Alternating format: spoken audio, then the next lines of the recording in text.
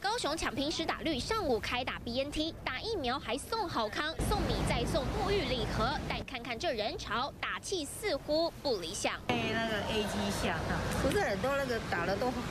老年人都不是有事情。八十几岁的老夫妻一起来打第一剂，拖了这么久，就是不敢轻易冒险。另外一站开打莫德纳，随到随打，对号称大魔王的第二剂，内心很恐惧。我我真的很怕呢。他说，请问我拖到窟窿的。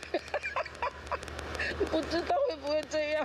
高雄再传打疫苗出状况，一名六十九岁妇人十月十五号打完莫德纳第二剂，身体不舒服，二十号到国军高雄总院急诊，但过了九天还是一样，分别两度就医，情况也没好转。这个月四号因为剧烈疼痛被确诊是主动脉剥离，转院开刀十四个小时，现在还在甲虎病房，让家属怒轰，三间医院都没有通报不良反应。该案有高血压的病史。